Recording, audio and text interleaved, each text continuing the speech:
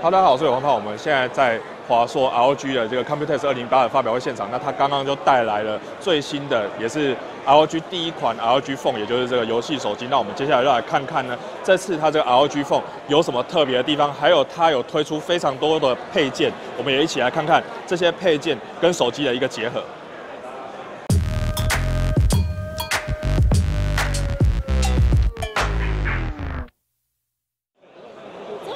好，大家好，我们现在手上拿到的呢，就是华硕刚刚发表这个 ROG Phone。那它这 ROG Phone 既然是在挂 ROG 的品牌，那它当然就是针对游戏有非常多的一个特殊的设计。那首先它在一个硬体上面，它也是目前所谓是最高阶。那包括它的荧幕的部分呢，就是六寸的一个荧幕。那它的处理器呢，也是 Snapdragon 八四五，而且它是一个呃算是特规的一个处理器，它的时脉可以到呃二点九六 GHz。那 RAM 的部分也是达到直接达到八 GB 的部分，那机体的部分呢也有也非常的大。那从那其他的硬体的配置方面，我们可以看到正面除了一个大荧幕之外，它有一个呃立体声的双前置的喇叭的设计。那还有侧边的部分呢，也有一个非常特别的是，可以看到这边有两个一个特殊的记号，这边是一个超音波的一个感测器，那包含。这边有两个，然后左呃另一侧的下半部这边有也有一个，那它可以做的就是你的手一个手势的感测，像在游戏里面你去一个正常的一个游戏的手势去持握的时候呢，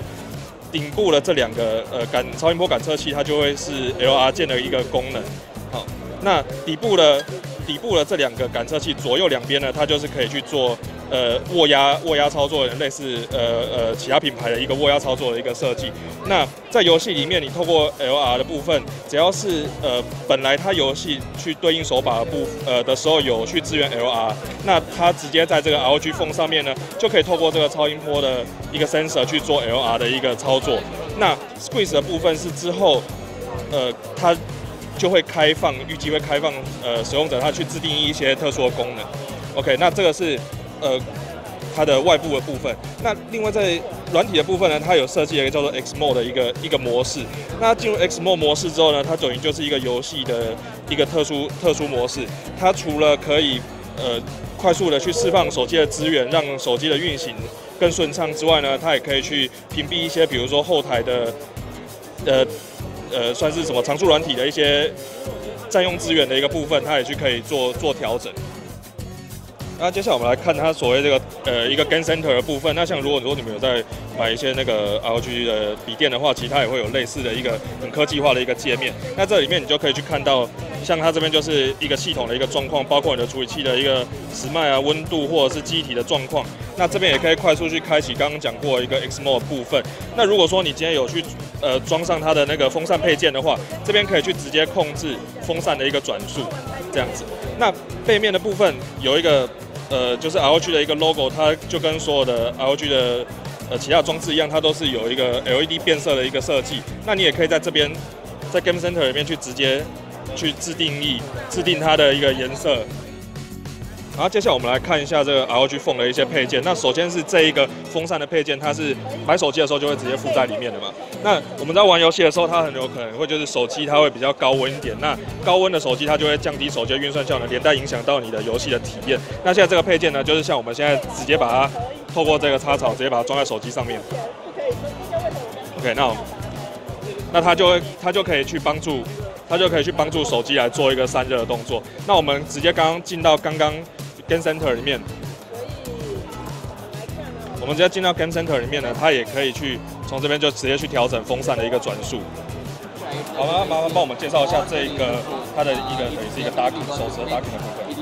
主要的话，这个 Docking 就是主要是配备双荧幕，然后上面的这个插槽直接把手机插进去，然后这个荧幕是原本就附在这个 Docking 上面的，等于这个只是作为一个荧幕，然后这边有讯号源。那我们不行，不好意思。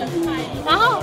你上面、下面两个画面，你都可以执行任何你在手机里面的应用程序，可以分开执行。你也可以开同一个游戏 app，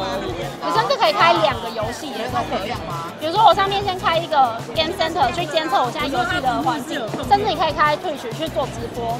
下面的话你就可以开你想要玩的游戏。但是我现在玩赛车游戏。那这个 Dock 本身呢，其实它也是有供电的。它下面是六千毫安培的电池，然后上上面有两个是呃实体的按键，就代替 L1、R1 的功能，让你有掌机的体验。那它的荧幕其实用的跟手机本身是一模一样的，是六寸的 AMOLED 的荧幕，然后一样是九十赫兹一 mistaken 的反应速率的荧幕。像比如说，呃，实况组的话，因为它上面就有视讯镜头，那其实你就可以一边做实，一边这边在玩游戏实况，一边可以看你的退群聊天室。就是说，你可以在这边跟室友、跟室友、呃，跟你的队友，呃，完了，跟队友做呃 Skype 沟通。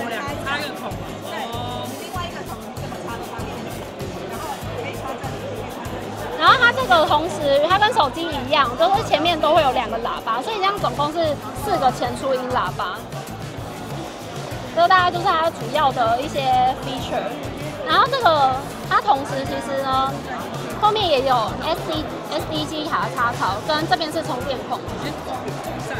那这里呢是我们的耳机插孔。所以它跟我们手机本身一样，都是有侧偏插插孔功能，让你玩游戏的时候不卡手。主要就是它的，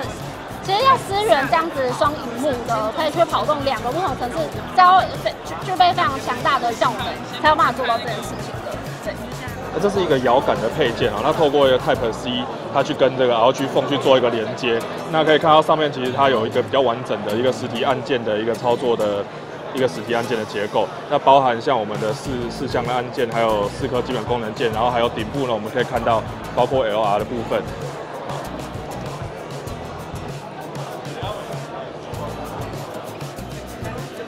那现在看到是一个 Wiki 的一个呃 Docking，那它就是可以做手机的一个无线画面的传输。像我们现在看到这个呃一个手机的一个赛车游戏，它的这个画面呢，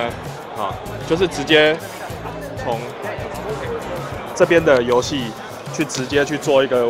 即时的一个投影，那因为透过它这个 w i k i 它一个比较高的一个传输速率，所以说这个画面的它的延迟呢，就会比起一般的一个呃无线的投影呢，就会顺畅很多。好，我们现在看到这个配件呢，就是 ROG Phone 它的一个 Docking，那这个 Docking 它主要有呃四个功能。第二功能就是，呃，像我们现在在演示的这款游戏，它就是可以透过这个 Docking，然后你就可以额外去接上你的键盘跟滑鼠来进行一个类似 PC 游戏的一个游戏的操作模式。那透过这个 Docking 呢，它可以去，啊，这边有三个特色，主要是它可以输出到 4K 的一个荧幕，所以说你可以把你的游戏画面呢投放到一个 4K 的，呃，4K 荧幕的一个高画质的荧幕上面去进行。然后接下来是它有一个，呃，有线网路孔的一个设计，所以说你在联网的时候呢，你也会比较。呃，比较稳定一点，那你的网速也会比较快，那延迟也会就会比较低一些。那另外呢，它还有支援五点一声道的一个输出，所以说如果你的游戏还有你家里的这个喇叭双倍有支援到这个等级的话呢，那你的呃整个声音的体验呢就会更好一些。好，那以上就是我们这次针对华硕这个 ROG Phone 的一个介绍。大家最喜欢这个呃这只手机的哪些功能呢？欢迎在底下留言让我们知道哦。